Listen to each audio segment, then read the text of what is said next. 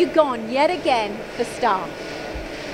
Star's a brand we started out with uh, in the early days of Rotec, um, and it just works for us. They're, they, you know, they're great, it's a great brand, it's a fantastic package, uh, but I think the most important thing for us is the people behind, you know, in the UK that sit behind Star.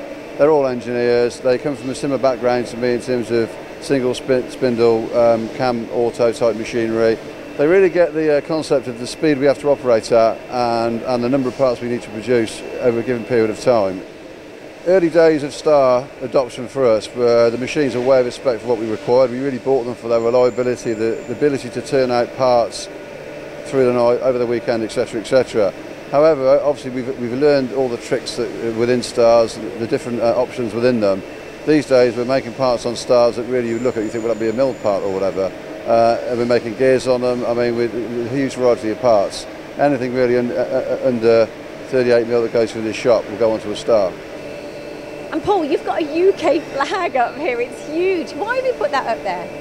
Well, obviously we're you know, proud of our UK heritage, but ultimately uh, Star, because of their reliability, has allowed us to run most of the machines 100% of the time, giving us globally competitive pricing, and we're now reshoring parts from abroad in the UK, uh, and that's coming, that's happening more and more. Most of our growth is coming from reshoring parts.